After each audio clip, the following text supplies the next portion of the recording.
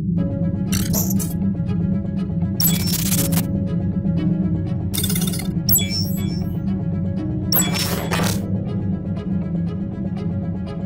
everyone, this is Jack from The Art of War, and I will be taking Custodes to the Streamhouse RTT. Let's talk about my list. I'm really looking forward to it. I think Custodes are a great time, and I really look forward to playing a bunch of fun yet competitive games against my friends. Uh, I'm going to be starting out against Mark, who I know is playing Orks of some description, not sure what, and then I'm going to play against either Blake or Richard if I do beat Mark. So those are the matchups I thought about when going into my list. So let's talk about it. I decided to take Shadowkeepers. Now, I, I do think that Emperor's Chosen is slightly better into an open field, but you know, we all know each other, we're all teching for each other, so I think Shadow Keepers is slightly better into Mark and Richard. And then whatever's coming at me from the other end of the bracket is, you know, that's my problem when I get there. So I'm looking at Tau and I'm looking at uh, either Blake is playing some kind of forces, I'm assuming Crusher Stampede, and particularly Mark. Mark, you cannot overlook Mark. Mark will just table you if you uh, are not, if you do not come correct. So let's look at the list. Shadowkeepers um, defends against Orks because Orks are, I know Mark likes his violence. He's going to run at me, and Shadowkeepers helps keep me alive through that. Uh, I also know against Tau, Emperor's Chosen, they don't have a lot of mortals, so Emperor's Chosen isn't as important, whereas Shadowkeeper's Grim Responsibility strat can really help out sometimes. Um, mostly, mostly it's for Mark because I'm scared of him running at me, and it's scary, and he hits hard.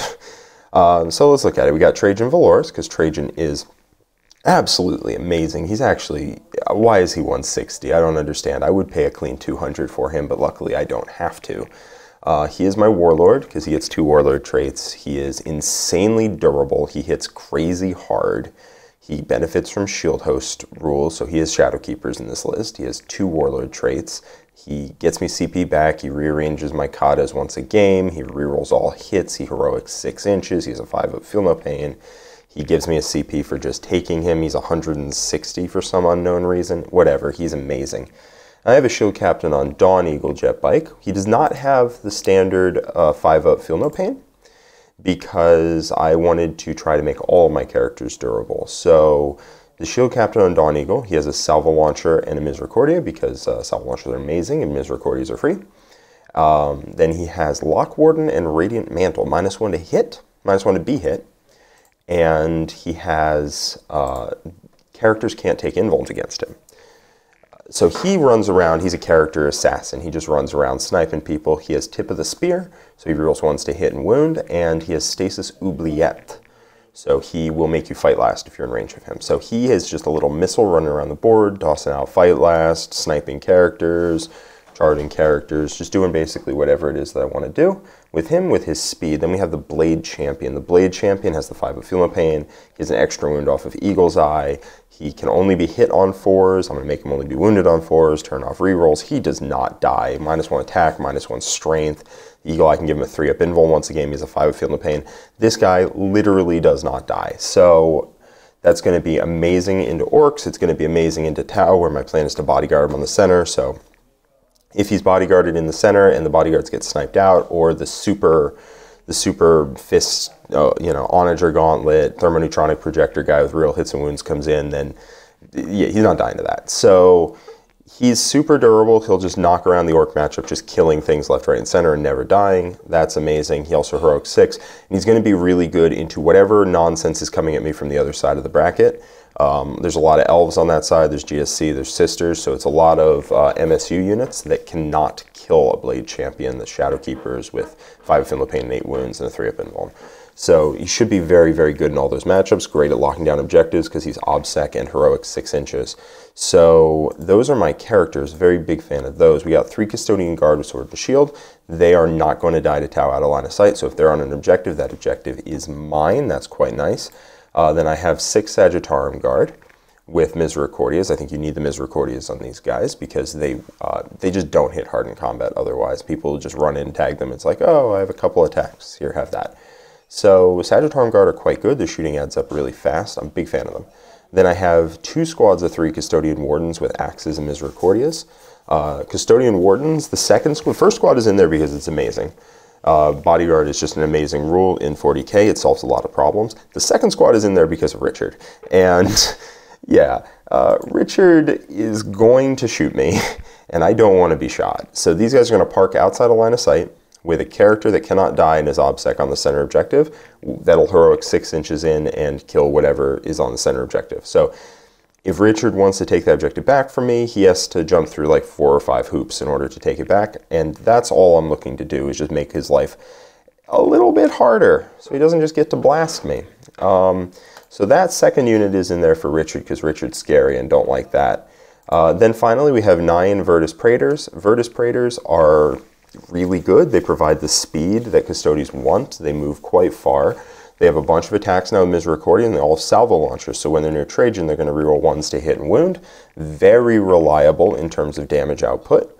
So what that means is I'll still pack the ranged punch to potentially pick up a squad of crisis suits if it gets too far away from the, the bulk of the horde, or you know, peel up a bunch of orc transports or orc I don't know what Mark is taking, but he likes his kill rigs. They'll kill kill rigs real fast, especially real wins against characters. They'll pick up his trucks. They'll pick. I mean, they're they're just good into a lot of matchups, but they're really good into Orks. Uh, although I was already taking three units of three beforehand.